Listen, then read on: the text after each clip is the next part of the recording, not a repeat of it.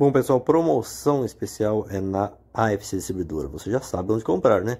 AFC Distribuidora garantido com os melhores brindes. Só entrar em contato com a AFC Distribuidora pelo 11 97694 5986. AFC. Canal, o pessoal sempre está perguntando aí sobre a TVD News, né? A TVD News é um canal de notícias, canal de direita de notícias, que já há vários dias entrou no Star Run D2, no satélite da nova parabólica mas que na maioria dos receptores novos do SAT HD regional ainda não abriram o canal da TVD News. Não estão perguntando quando que vai ser aberto esse canal.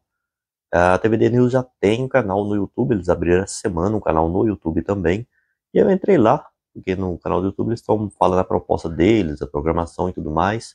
E perguntei para eles o seguinte, quando que vai estar disponível em todas as marcas de receptores SAT HD regional, pois algumas ainda não estão abrindo a TVD News, e eles responderam. Ainda essa semana, a Embratel irá atualizar para todos os modelos de receptores.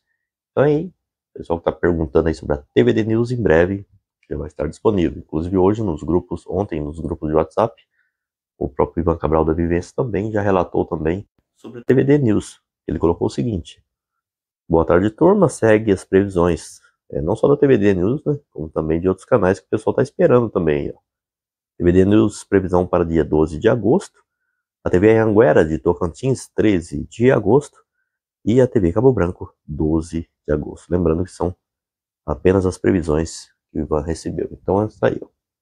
12 de agosto, a TVD News, 13 de agosto, a Anguera e 12 de agosto, TV Cabo Branco. O pessoal tá tanto querendo aí esses canais que já há vários dias já estão no satélite, mas que ainda não entraram.